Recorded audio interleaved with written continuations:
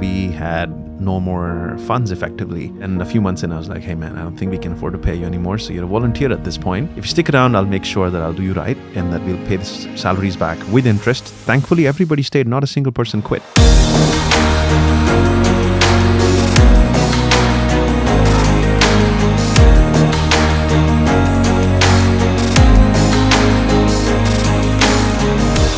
Welcome to Backstage with Millionaires, the show where we bring you the stories of real Indian startups told by the entrepreneurs that build them. I'm Caleb Friesen, and on the show today, how Tushar Vashisht took his startup Healthify Me from a simple calorie tracker to a global health tech empire with more than 30 million users worldwide.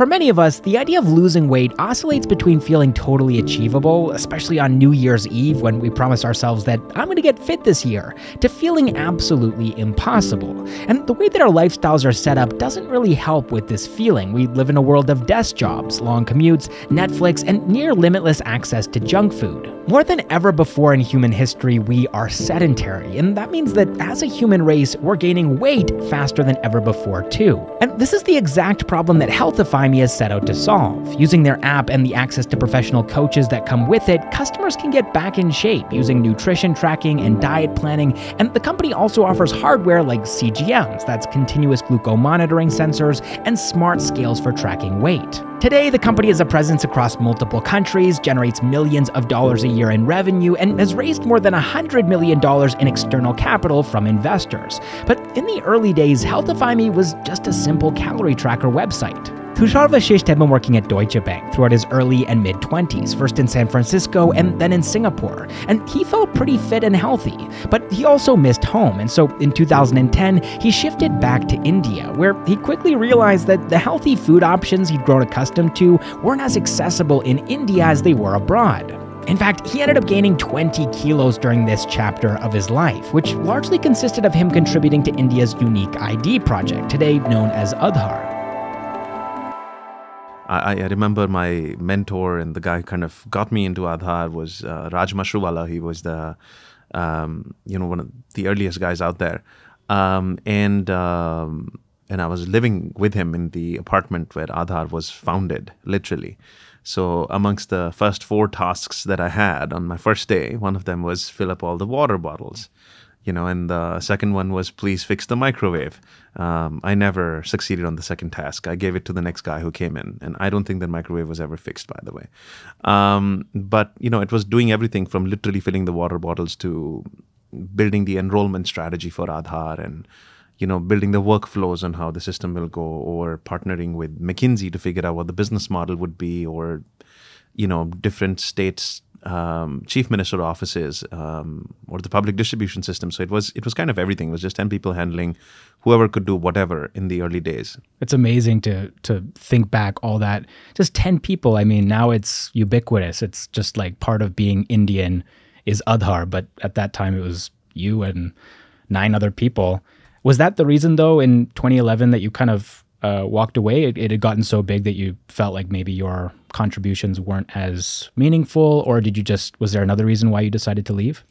Um, when I had joined Nandan, I think, and Raj, my commitment to uh, both of them was that I'd be doing this for two years because it was at voluntary levels or near voluntary levels. Uh, so it was an impact sort of a you know government mission for me to accomplish uh, or, or help out on.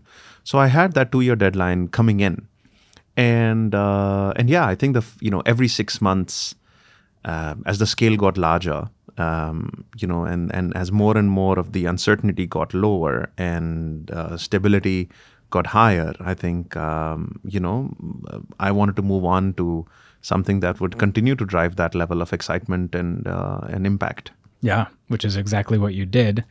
Uh, 100 rupees a day project, which I'm just curious. Like, I, I, think most people don't wake up in the morning and say, like, I'm going to go starve myself, right? Or I'm going to try to live like, um, how many people were living at that level back so, in 2011? You know, we were ourselves quite surprised that 74% of the country was living less than 100 rupees a day. Wow. Um, X of rent.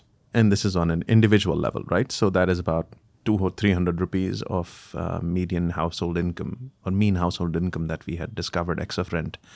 and um, and you know, um, I think it was it was certainly not a weight loss diet uh, or a regimen. Uh, I think the way it sort of got to be is that for almost two years, I was working for the average Indian. Right at Aadhaar, the purpose was to help the average Indian get access to government services, to benefits, to infrastructures, identity.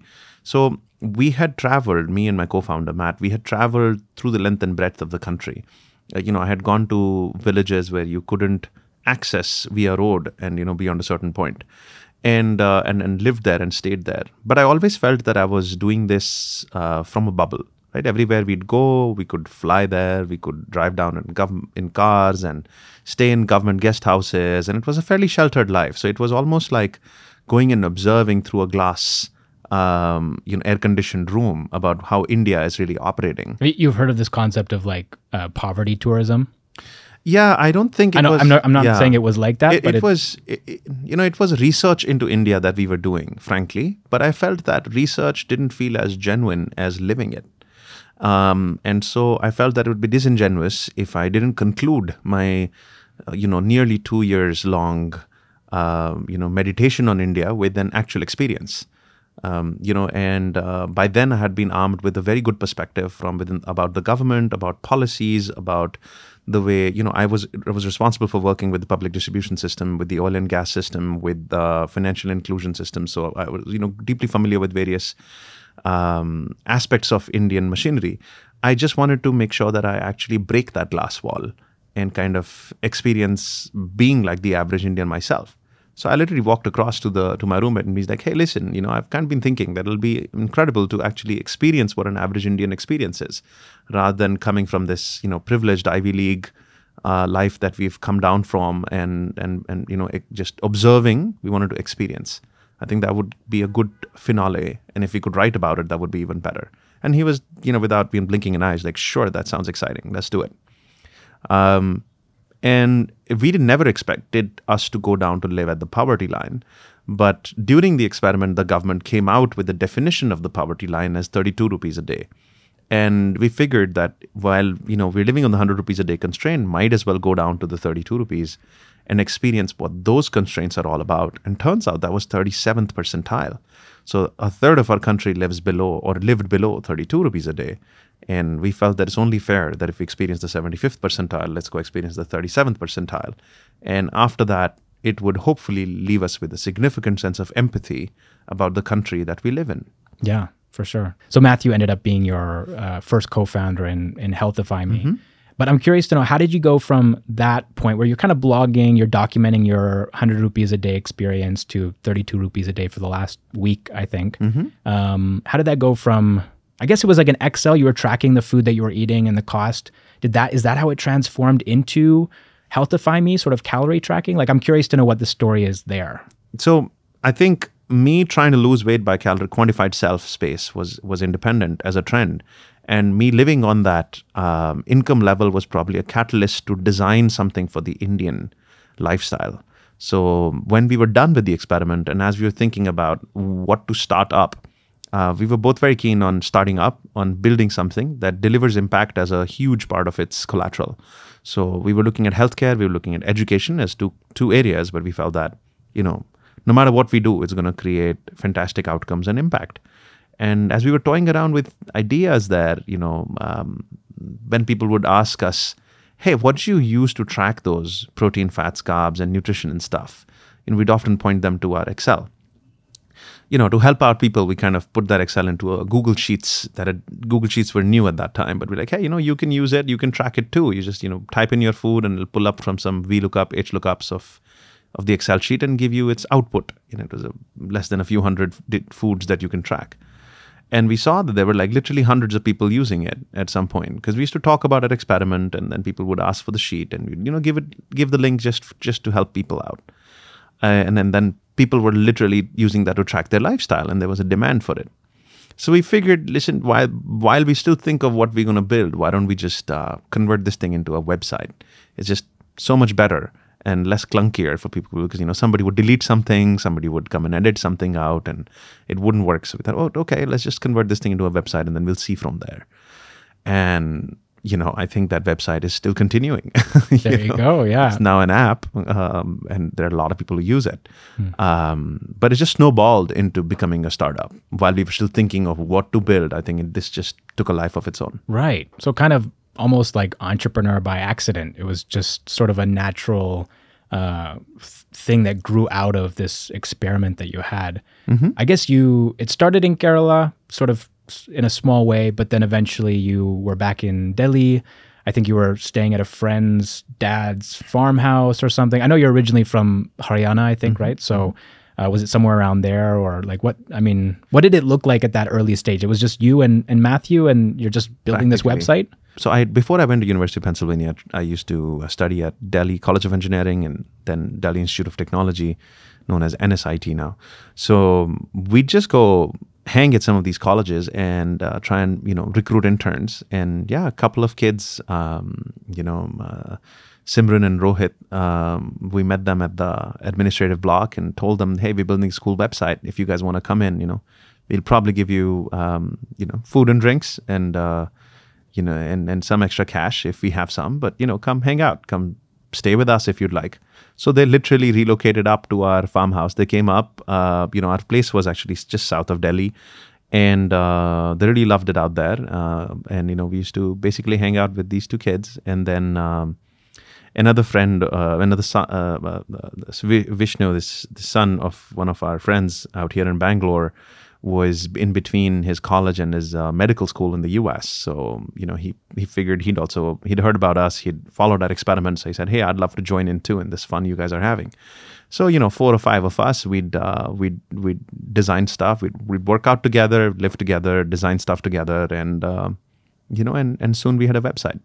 Okay, so I just wanted to take a break here to talk about today's sponsor, Jungle Ventures, because I think that there's tons of gyan online about how to start a startup, things to avoid. All of this stuff is from the founder's perspective, but what there isn't a lot of content on is how VCs look at startups. For example, what do they look for before investing, and what are some of the red flags for them, or just advice for founders in general? And this gap is what Jungle Ventures is trying to fill through their YouTube channel. And one video that I want to highlight here in particular is this video where they actually explain what a down round is. We believe that survival is the most important thing for a business, followed by product market fit, and then having enough cash runway to prove your product market fit, as well as keeping yourself and your team healthy and motivated. And therefore, if a down round is a necessity, then you would have to raise it. So, if you enjoyed that clip and you want to watch the full video, you can find a link to it in the description down below. And while you're over there on Jungle Ventures YouTube channel, make sure to hit subscribe as well because they're regularly posting that kind of high quality content. All right, now on with the podcast. I, I'm just curious though, from a because there's like a five member team now at this point, um, and you did say food and drinks, yes, so relatively inexpensive, but still, I mean, money has to come from somewhere, right? Either you're uh, paying rent or you're buying the food or whatever just to keep the lights on. So was it sort of like you're dipping into your own personal savings from your Deutsche Bank days and you and Matthew or asking money from family and friends? Like what was the, how were you keeping things going? So we'd uh, we'd committed to spend some money. I think I had committed to put in about ten lakhs at the outset, and uh, Matt like I think a couple of lakhs, and uh, you know together we had this little pool of capital that we had uh, we had put in. And were you planning on staying in Delhi long term, or was Bengaluru always something that you had on the horizon? Um, we found us actually the pivotal moment was that we got accepted into the Microsoft Accelerator, which was based out here. Um, and one of their conditions was that at least during the accelerator, you have to be here. So we moved back and we lived with people who would be willing to give us rent free accommodations for a few months and uh, worked at Microsoft Accelerator. Yeah. Yeah. And that's when we locked in our uh, angel round, our first round of capital, um, one crore rupees, uh, which felt like an insane amount of money at that time. And, uh, and and then that's when we started recruiting, you know, talent. We converted those interns into full time employees. Um, we had to actually talk to their parents uh, uh, you know, to convince them to join us because their parents were like, I think one had a job at Samsung, the other had a job um, also at some big company, and and uh, and and you know, we had to convince their parents as to why they should let their kids join this uncertain, unknown, this couple of people's, uh, you know, in Bangalore instead of Delhi. Yeah. So yeah, you raised that uh, one CR angel round from a couple of people at um, Aadhaar. I think uh, you had mentioned their names earlier as well. Yeah, Raj, Raj- Mashruwala really helped anchor the round. Um, And Sashi- he was my boss basically at Aadhaar in a big way, and uh, so he he kind of uh, also uh, helped me anchor the round. And then a bunch of people joined. Sashi Reddy, actually, I'm having lunch with him after this today. Oh, there you go. Um, and uh, he joined in as well at that time. He was not at Aadhaar, but uh, he came in because of his friend Srini, um, and both of them used to invest in angels at that time from Hyderabad. Um, and you know, I had uh, I was connected to Srini because of Microsoft Accelerator, and uh, kind of um, you know I, st- I still remember that day when there was a friend's wedding in Hyderabad, so I'd gone for that, and between the wedding, I'd you know gone to meet uh, Srini um, in an auto and at this cafe coffee day and um, and I remember I wanted to show him a demo of the website and and oh, the website wasn't up yet. it was flaky. It was up, but you know, it didn't necessarily work all the time. It was not it was not launched beyond its alpha version. It was not commercially there. It was sort of just a, Like a barely working beta that was, or rather an alpha that was in place. And you know, I remember uh, hearing from Matt and the other team out there be like, "Hold on, hold on, you can't demo yet. Wait a minute, like let us know." And then I'm talking to Srini and I'm continuing to talk, and and then I'm checking on the other side in my you know in my WhatsApp or whatever it was at that time. Um, you know, guys, is it up? Can I just like can I demo it now? And then be like, okay, you can do it now. And then you know I'd uh, and, and I'd show him, and yep, it worked perfectly fine as a demo. And then you know, and I remember uh, texting them, okay, it's done. They're like, okay, thank God. You know, everybody relaxed at the back Shut down the servers. Shut down the servers. so uh, Srini told me later he invested in me or the company not because of anything else, but apparently because of a good follow up I did. So I went back home right then, you know, wrote him an email, talked to him about the next steps, uh, about the vision, about what we are trying to do, how we are going about it, and uh, he he felt it was very articulate and well timed, and that was the thing that actually got him excited, which was surprising. You know, I um, I thought it was the product demo, but really it was the follow up. Yeah, I mean, investors. I've heard this a lot that they invest in people first.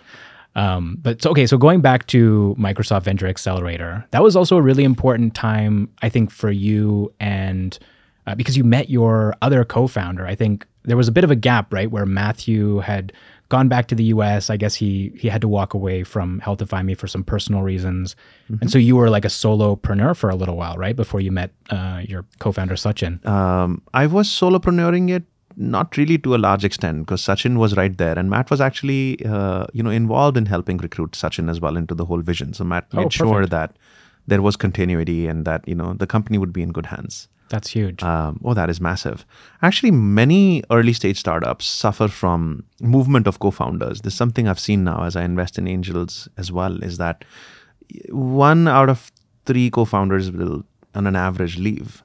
Um, and and I think that's completely fine. It's at a very early formative stage, and you know people are defining their interpersonal equations and also understanding if this is for them or not. And it's normal for that movement to really happen before it stabilizes uh, somewhat.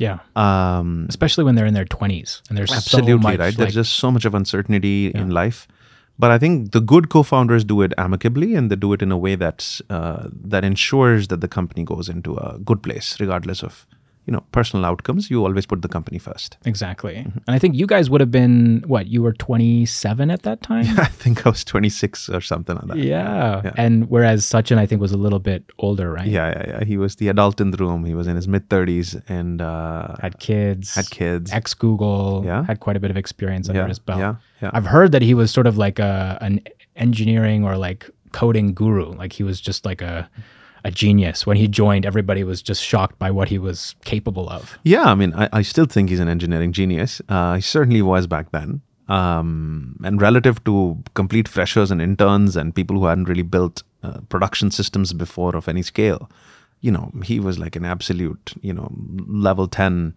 guru of sorts. I, I remember one of the first few things he did at some point, I think about a month in, he was like, okay, Tushar, I'm, hate to tell you this, but I'm going to do, you know, RM minus RF. It's like, okay, wait a minute, you you gonna do what? He's like, I'm gonna delete all the code.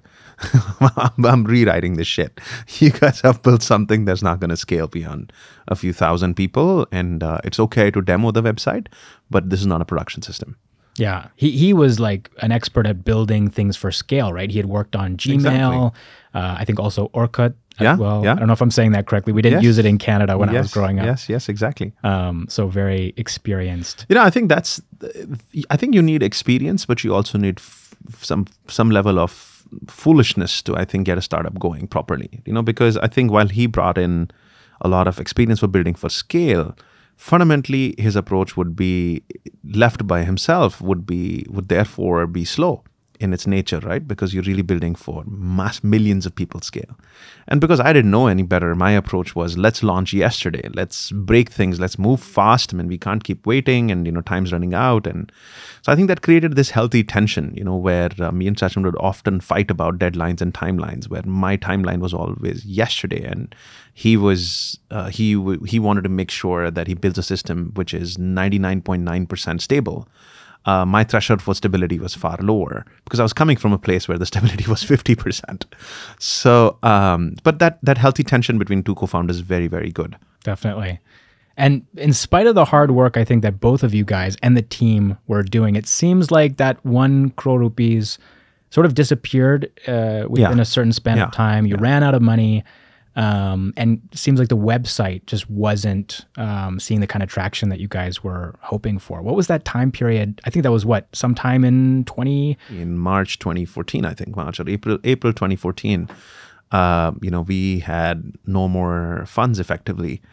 And um, and of course, I was trying to raise. I had a couple of term sheets withdrawn from me at that time. You know, a term sheet that I couldn't secure. So it was a really difficult time when uh, funders were being anxious. There is no revenue model. We had a good team. We had a phenomenal product. We had high engagement, and we had customers, real tens of thousands of people who were using us and loving us for our product. Um, that love and those testimonials, I think, kept us going during that time. For sure. Were you still at Microsoft Venture Accelerator? No, no, no. We were we were we were out of Microsoft by early 2013. Yeah. So this was uh, this was just us by ourselves. We You were a- you had your own office in, in we had a place called Office. It was basically a house in Indiranagar, which we'd converted to an office. And uh, we were sharing it with another startup. So we had about the total space was 1,500 square foot, and I think we were we were using 750 of it.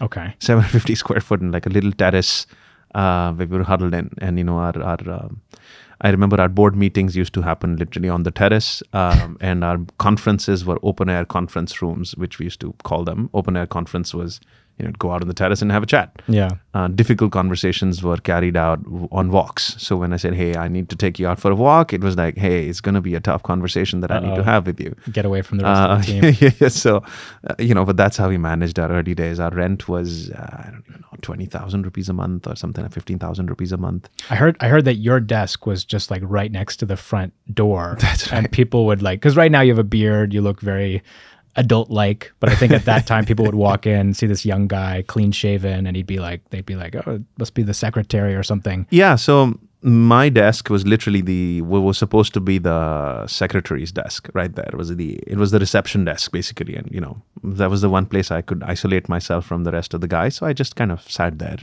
and it was also right next to the the toilet on the floor. So if somebody had to go use it, they'd go behind me.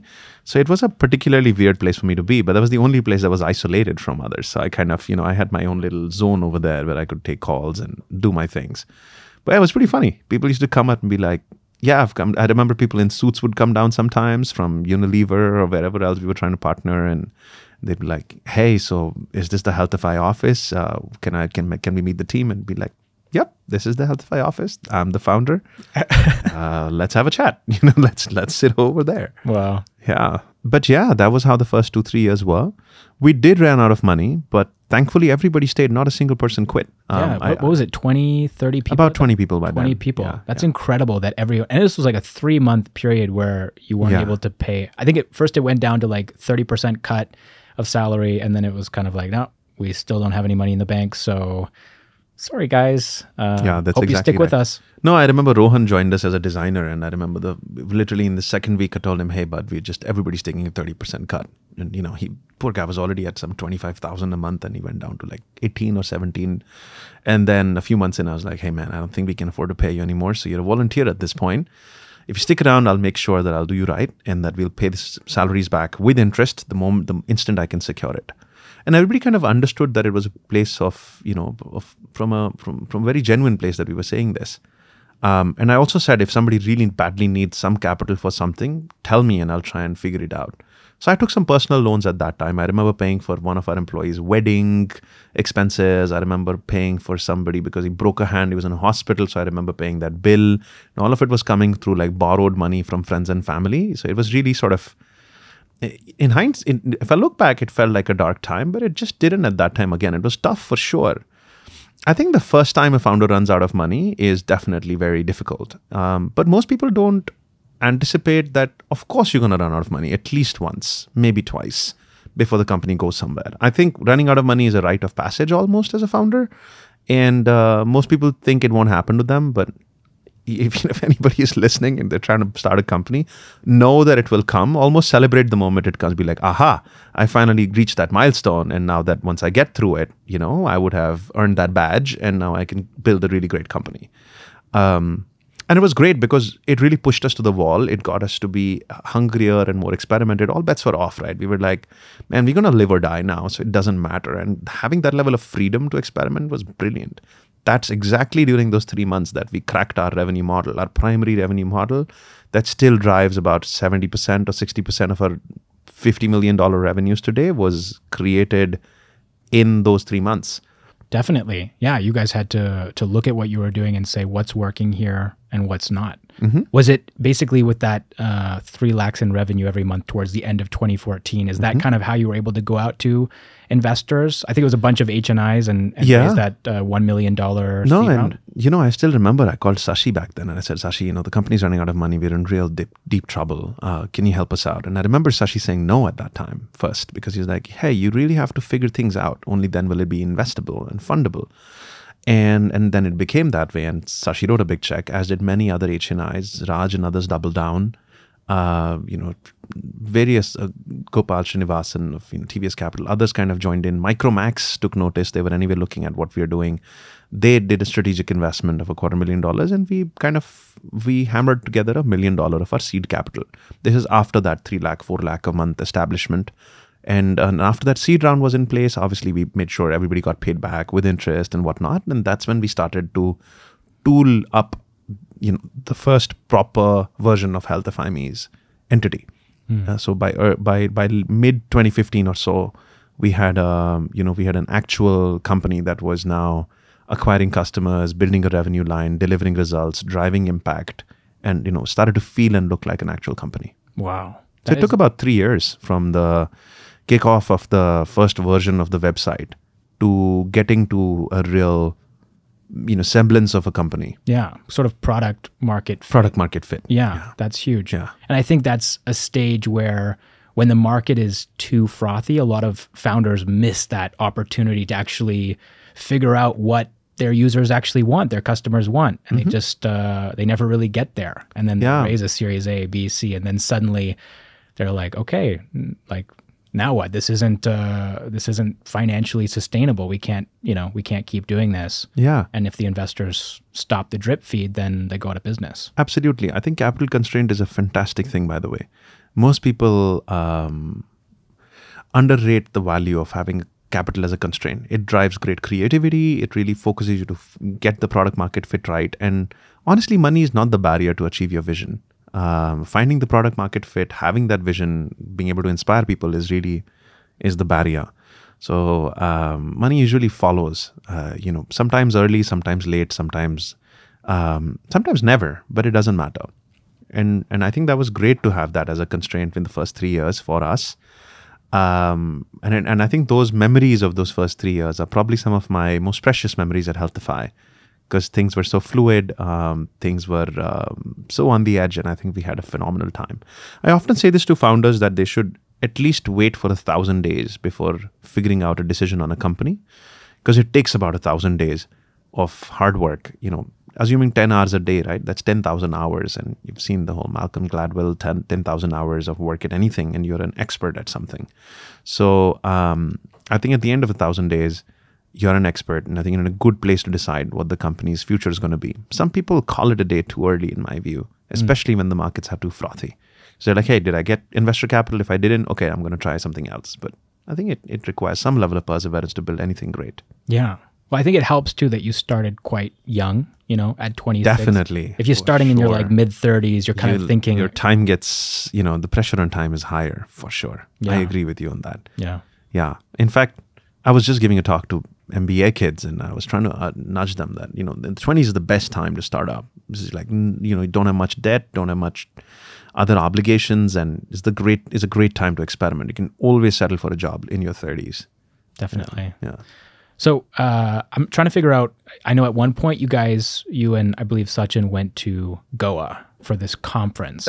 Was that before or after the one million dollar seed round? No, no, it's definitely before. This is when we were scrambling for all ways of raising any, of figuring out any kind of capital. So one of our experiments was selling to corporates.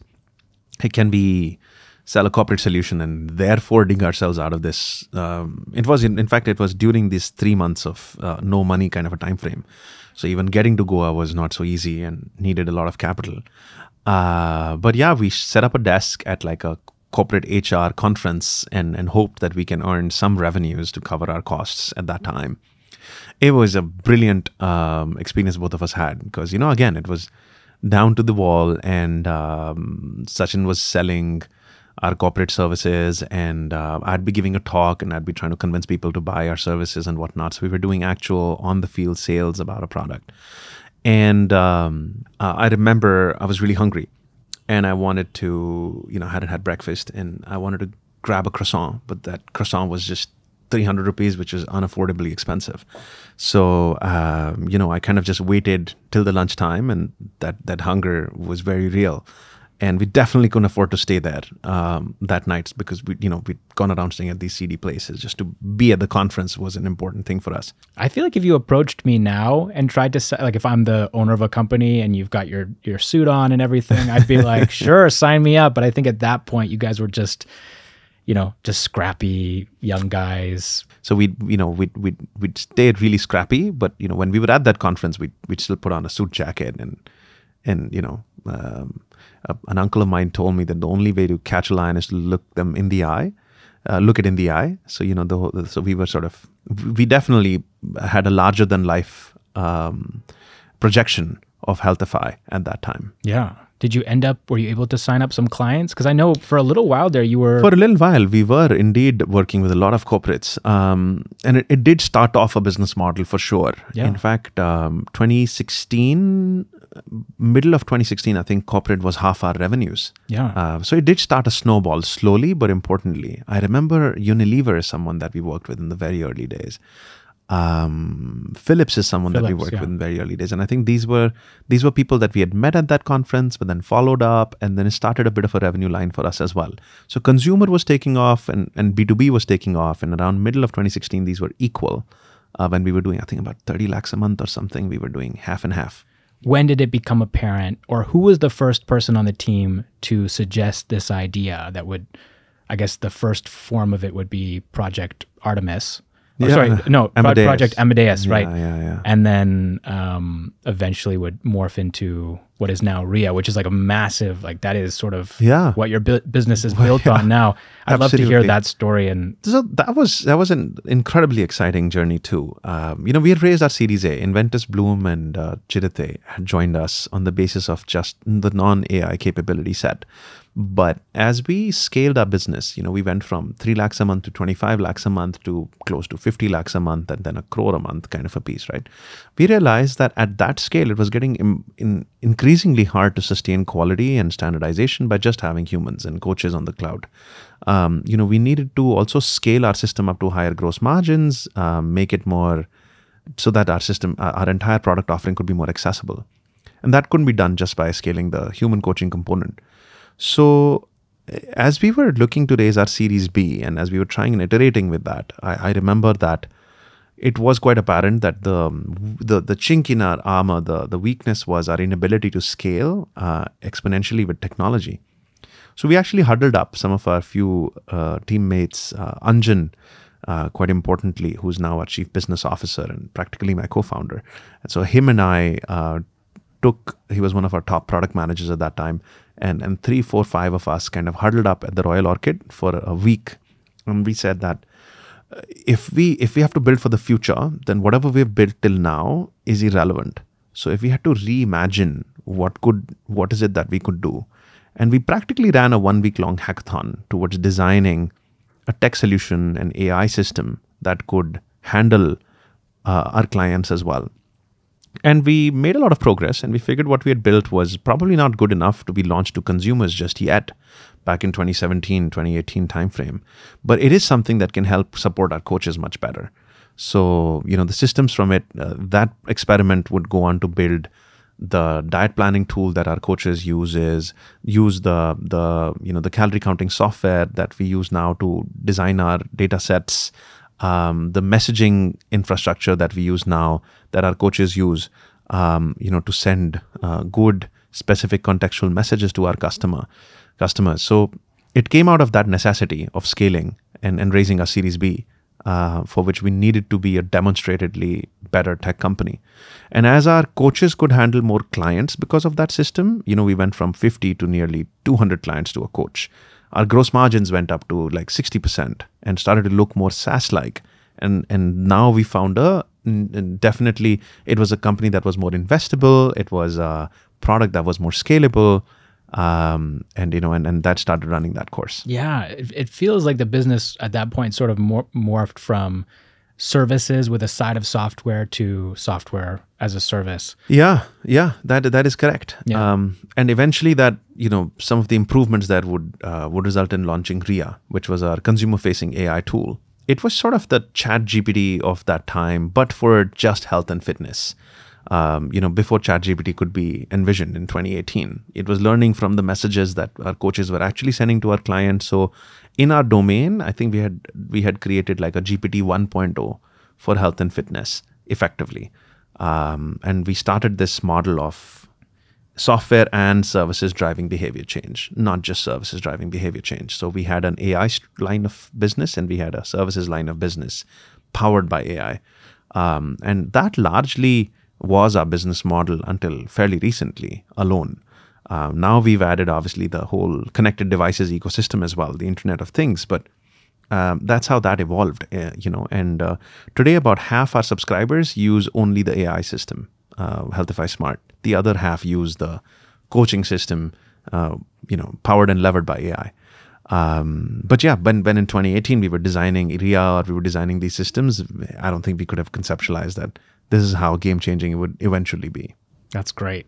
And I think basically the the fact that you did this micro pivot and started implementing this AI um, set you guys up really nicely for the pandemic, mm-hmm. right? Which was a terrible event, mm-hmm. um, but I think probably for Healthify Me, uh, right? A lot of people are at home feeling like they're gaining weight, they're not able to do exercise, they're not out and about. Yeah. Um, and so they start looking for solutions. What was yeah. the like? What kind of growth did you guys see um, from say March of 2020 um, until you know sometime into the the second wave? You know, I think initially when pandemic hit, I think every founder was in a state of shock. You know, so were we. we were pretty scared. We didn't know what was going to happen. The world seemed like a very difficult place. And I still remember doing this one all hands where uh, you know I, I literally took my guitar and everybody was remote and I sang "Hum Honge Kamyab," you know, we shall overcome, and it was a quite a emotional moment for everyone. I think all of us kind of were teary eyed while we were singing that because we were like, okay, you know, we'll we'll get through this together. We'll be okay. Um, but as it continued to rage on for a while, we realized that there was a significant interest increase in people trying to be healthier and fitter from their homes more so. And I think having that low cost solution, but people were afraid of spending too much money. So having this low cost solution, having our coaches uh, really, really helped. And I think our, our nutritionists and trainers really went above and beyond during that time. I remember people who had COVID or who had family members who were having COVID, but who really went above and beyond to help out our clients virtually. We felt that we were COVID warriors too, and we had to do our bit to help our clients in this difficult time. Um, and we were there for them. And I think the world really thanked us for that. We launched a tool called Vaccinate Me in the middle when the government released its APIs for vaccinations, even had even though it had nothing to do with our business. We figured we've got, you know, at that time I think maybe 10 million or 15 million users, and it would be great if people can use uh, a tool like Vaccinate Me to get notifications about when they can get their vaccinations. Uh, we acqui-hired a team called Under 45, which was doing this on Telegram. We were doing it on WhatsApp. Um, you know, we reached out to Vinod Khosla, who eventually turned into an investor, and who reached out to Mark Zuckerberg, and they zero rated our WhatsApp messages. So we could indeed help the country get to their vaccination slot very quickly and efficiently. Uh, we helped vaccinate 25 million Indians in the peak of pandemic waves, and that was a, a hugely rewarding experience for the team. There was a small team actually. Sumanyu, uh, who's now a founder himself, and Manan, who's now my chief of staff, they kind of co-founded Vaccinate Me, and we just empowered them, enabled them with access to people and resources, and they just kind of built this out within days. And within three months, you know, 25 million people were vaccinated. So we did some amazing experiments. We had a great time. Um, and, uh, and I think came out much stronger from it than we went in. I think pandemic also helped the world realize that being healthy, being fit, taking care of your health is important. If you're overweight or if you're suffering from metabolic syndrome, likelihood of people suffering because of COVID was higher. Um, and you know, just like after the Spanish flu in 1930s, I think it led to a birth of many um, hygiene companies. Uh, you know, Reckitt Benckiser's of the world, in, to scale very rapidly. I think this pandemic is going to result in a huge explosion around health and fitness. I, have heard people say like if you're going to start a company, strap in. It's going to be like a seven to ten year journey. Mm-hmm. And you, I mean, it's gone beyond that, and presumably, yeah. right? You're, you're continuing to build this thing. Yeah. Um, and as long as you keep that same sort of structure of you know perseverance, right? Just sticking with it and not giving up. You know these micro pivots every 18 months, sort of reevaluating um, that I don't think it's it's. I mean, it feels very achievable. Like I I, I listened to a, a, podcast that you did a couple I think a couple of years ago. You talked about healthifying a billion people. Yeah, and, and that was at the beginning of my research process, and I was kind of like, okay, this guy is like an idealist. like, what what is he thinking, really? But now, sort of hearing the whole story, like that's totally going to happen, right? Of course it will. Every time you set one of those goals, you achieve it, and usually earlier than you expected. Mm-hmm. Before the turn of the decade is the plan we have just finished we've just crossed 35 million. So and you know uh, i still remember you know in the early days um, 2014 15 timeframe we used to keep our wi-fi password as our target for the number of users. So i remember when the, we were at about 10k or 12k or something we'd kept this ambitious goal of target uh, the, the wi-fi password was target 50k and then when we reached 50K, and then our goal was to change the Wi Fi password to uh, target 5 million. And that was a huge order of magnitude shift, right? And it seemed impossible back then. In fact, when we moved to this new office, we painted somewhere target 5 million as one of the cultural um, you know things that get said uh, in in our company and then over time i think people at Madurai Idli shop and other cafes around were literally using our wi-fi password and then once we raised our series b i think we kind of uh, put in a real security Wi-Fi password. But we used to keep that. That was a cool cultural uh, piece that you know uh, our target was literally in the Wi-Fi password, so everybody had to uh, you know really empathize with that. It became a cultural uh, goal to set, and we just crossed our 35th million users. so you know we've we've come a long way, but there is still a long way to go. And the reason that billion is important is because at the turn of the century, we had the first time as Homo sapiens more people overweight than underweight. Uh, we've never had that as a civilization, and that number was a billion. And uh, in 20 years since, we've had 2.5 billion people who've become overweight. By the end of the decade, we'll have 3 billion people if left unchecked. So, really, our addressable market, people who need us, people who deserve to use cutting edge technologies, behavior change systems, coaches, AI to help them is a billion people. And Nandan, my mentor, obviously, one of the times uh, when I was asking him, um, his advice was always to think big. Because, you know, he said it doesn't cost anything differently if you think big or think small. So might as well think big. And if you think big, you know, even if you land short of it, it will still be huge. If you think small, then where are you going to go from there? So we've kept this audacious target of a billion. But you're right. Uh, when we kept it, I think it did seem a little too big to punch for. But now it, I, I think I'm beginning to see it in the crosshairs. And, and, and that is a powerful realization for me and the firm. I think five years, six years tops, we hope to cross that. That was Tushar Vashisht, co-founder of Healthify Me. And remember back in 2014 when Tushar and Sachin couldn't afford to stay in that hotel in Goa and couldn't even justify the cost of a 300 rupee croissant? Well, they actually went back in 2018 with a very different outlook. So I think four years later, when we had uh, raised our six million A and then our 12 million B, uh, 16 million B round, uh, we felt that it was very important to celebrate. Um, and I think it was a bit of exuberance, a bit of a fuck you to all the uh, bad times we'd gone through to get there. I think we just took the whole company and we just rented the whole hotel. So we, we took up some, uh, I think, 200 rooms at de Goa or something. And, uh, and, and, and, and, and did this one night of, of this phenomenal offsite in Goa. Oh, yeah, and we served croissants for breakfast. Thank you so much for watching or listening to the show this week, and I'll catch you in the next one.